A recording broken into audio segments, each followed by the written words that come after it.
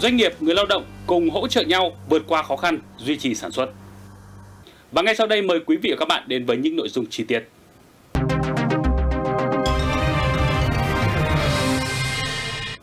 Quỹ phát triển doanh nghiệp nhỏ và vừa trực thuộc Bộ Kế hoạch và Đầu tư là tổ chức tài chính nhà nước ngoài ngân sách, hoạt động không vì mục tiêu lợi nhuận, hiện đang có nhiều chính sách ưu đãi về vốn hỗ trợ doanh nghiệp nhỏ và vừa.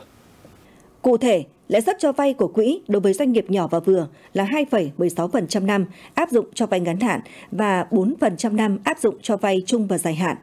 Về đối tượng vay là doanh nghiệp nhỏ và vừa khởi nghiệp sáng tạo, doanh nghiệp nhỏ và vừa tham gia cụm liên kết ngành, doanh nghiệp nhỏ và vừa tham gia chuỗi giá trị. Chi tiết về đối tượng, điều kiện đáp ứng của doanh nghiệp nhỏ và vừa để được vay hỗ trợ trên, quý doanh nghiệp cần tìm hiểu cụ thể tại Nghị định số 80 năm 2021 của Chính phủ. Qua 11 tháng, hầu hết các chỉ tiêu sản xuất kinh doanh của công ty cổ phần bia rượu nước giải khát Hà Nội nằm trong khu công nghiệp Phú Nối A đều hoàn thành tốt và tăng so với kế hoạch đề ra. Cụ thể, qua 11 tháng, công ty đạt doanh thu trên 380 tỷ đồng, tăng gần 10 tỷ đồng so với kế hoạch đề ra cả năm. Nộp thuế nhà nước 325 tỷ đồng, ước số nộp cả năm sẽ đạt khoảng 400 tỷ đồng. Hiện nay doanh nghiệp đang bước vào đợt cao điểm sản xuất hàng phục vụ thị trường Tết Nguyên đán Quý Mão năm 2023. Dự tính sản lượng sản xuất cả năm sẽ đạt 42 triệu lít bia. Hiện công ty đang tạo việc làm cho 120 lao động với mức thu nhập bình quân 12 triệu đồng một người trên tháng. Thưa quý vị và các bạn, từ nhiều năm nay, công ty trách nhiệm hữu hạn cộng đồng 18 tháng 4 ở xã Thọ Vinh, huyện Kim Động đã trở thành địa chỉ về tạo việc làm cho nhiều người khuyết tật, giúp các hoàn cảnh không may mắn hòa nhập cộng đồng. Hiện công ty đang tạo việc làm cho trên 100 lao động, trong đó 75% là người khuyết tật với mức thu nhập bình quân 5 triệu đồng một người trên tháng. Lao động là người khuyết tật ở xa được công ty hỗ trợ miễn phí về ăn ở. Tôi thấy rất là hạnh phúc vì có vừa có uh, vừa vừa đi làm nó thoải mái và lại có thu nhập cho gia đình và cho bản thân.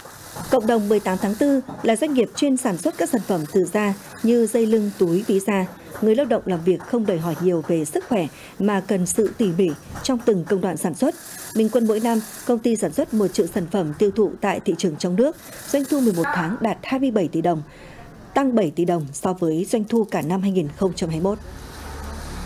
Thưa quý vị và các bạn, ảnh hưởng từ chiến tranh, xung đột, dịch bệnh đã làm cho nền kinh tế toàn cầu bước vào giai đoạn suy thoái. Hai tháng cuối năm là cao điểm sản xuất, nhưng trong tháng 11 vừa qua, sản lượng điện tiêu thụ cho công nghiệp xây dựng trên địa bàn tỉnh Hưng Yên lại giảm so với các tháng trước.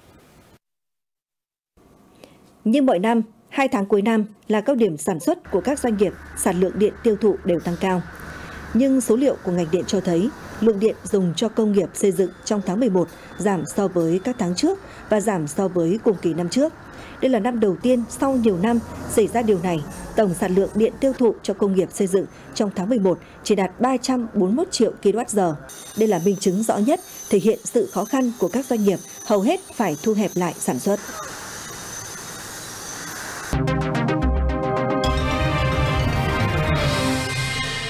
Trong phần hỏi đáp doanh nghiệp hôm nay, doanh nghiệp có câu hỏi như sau. Điều kiện để được cấp phép doanh nghiệp chế xuất, ưu đãi về doanh nghiệp chế xuất trong khu công nghiệp gồm những gì?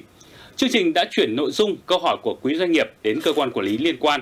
Và sau đây là nội dung trả lời của ông Phạm Xuân Khoa, trưởng phòng quản lý đầu tư, ban quản lý các khu công nghiệp tỉnh Hưng Yên. Thành lập doanh nghiệp chế xuất thì là thực hiện các cái thủ tục thành lập gắn liền với thực hiện thủ tục ờ, đầu tư thì là hiện nay là trong các văn bản quy phạm pháp luật thì đã áp dụng hai cái văn bản một là cái nghị định 35 của chính phủ năm 2022 và hai là cái nghị định 18 năm 2021 cũng là nghị định của chính phủ. Thì ở trong cái đây là các quy định về các cái điều kiện thành lập ờ, cái đối với doanh nghiệp chế xuất, một là phải, mục tiêu thành lập chính xuất phải được ghi vào trong mục tiêu dự án trong giấy chứng đầu tư. Cái thứ hai là phải đáp ứng các điều kiện kiểm tra giám sát hải quan theo quy định pháp luật về hải quan. Thì trong các điều kiện này có ba cái điều kiện chính. Một là cái ngăn cách ờ, với lãnh thổ ờ, bên ngoài bằng rào rào cứng. Cái thứ hai là phải có camera giám sát thứ ba là phải có phần mềm quản lý về hàng hóa xuất xuất nhập khẩu thì cái này là theo hướng dẫn của cơ quan hải quan còn khi mà các doanh nghiệp phế quất được hưởng ưu đãi đầu tư kể từ khi mà được ghi cái mục tiêu thành lập doanh nghiệp chế xuất trong giấy nhận đầu tư thì là doanh nghiệp được hưởng các ưu đãi như một khu phi, phi thuế quan là được miễn các cái thuế nhập khẩu, thuế xuất khẩu, thuế nhập khẩu và cái thuế với trị gia tăng cho hàng hóa xuất khẩu. Như vậy qua phần trả lời vừa rồi, quý doanh nghiệp đã rõ để được công nhận là doanh nghiệp chế xuất và khi đã là doanh nghiệp chế xuất sẽ được hưởng một số ưu đãi riêng. Đòi hỏi doanh nghiệp phải đáp ứng được đầy đủ các tiêu chí, tiêu chuẩn theo quy định của pháp luật về doanh nghiệp chế xuất.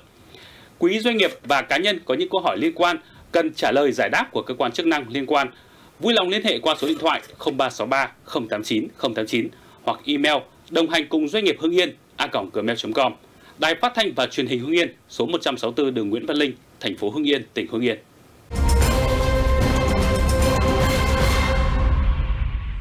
Thưa quý vị và các bạn, hiện nay các doanh nghiệp đang bước vào giai đoạn nước rút để hoàn thành kế hoạch sản xuất kinh doanh cả năm, nhưng đang gặp phải những khó khăn lớn do tác động từ thị trường thế giới. Doanh nghiệp thiếu đơn hàng, người lao động thiếu việc làm, thu nhập giảm. Vì vậy, việc chia sẻ lẫn nhau giữa doanh nghiệp và người lao động trong lúc này để cùng vượt qua khó khăn, hy vọng giai đoạn khó khăn sẽ sớm đi qua là điều vô cùng quan trọng. Trải qua 18 năm làm việc ở doanh nghiệp này, hiện đang là thời điểm khó khăn nhất mà anh Vĩnh cùng hơn 20 lao động khác đang gặp phải. Tổng thu nhập bình quân hàng tháng từ 10 triệu đồng, nay giảm xuống còn 6,5 triệu đồng. Thực tế tại doanh nghiệp, hàng tiêu thụ chậm, tồn kho lớn. Điều này anh cùng mọi người đều thấu hiểu và chia sẻ khó khăn với doanh nghiệp, càng phải nỗ lực hơn để cùng nhau vượt khó việc làm hoặc là cái thu nhập nó kém đi thì coi là về bản thân à, chúng tôi là người công nhân trong doanh nghiệp thì cũng là rất là vui vẻ chia sẻ với cả doanh nghiệp à, cái điều này thì nói chung là đây là, là cái khó khăn là khó khăn chung thì mình cũng phải chia sẻ thôi chứ còn mình cũng ờ, cùng gánh vác với cả công ty chia sẻ cái sự khó khăn này với những doanh nghiệp có quy mô lớn hơn như doanh nghiệp này dù kết quả sản xuất kinh doanh nhiều tháng luôn ở mức âm, nhưng lương tháng của người lao động vẫn được đảm bảo, không để nợ lương. Tình thế bắt buộc doanh nghiệp phải cắt giảm tối đa số lao động làm việc,